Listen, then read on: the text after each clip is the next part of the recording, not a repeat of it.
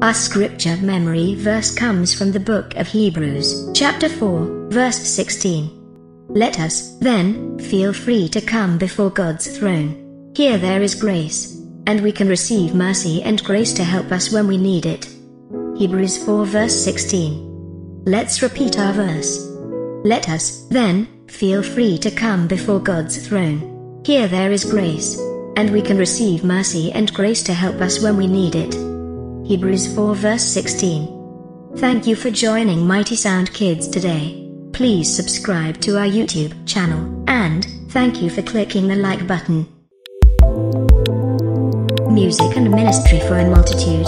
Jesus is the answer.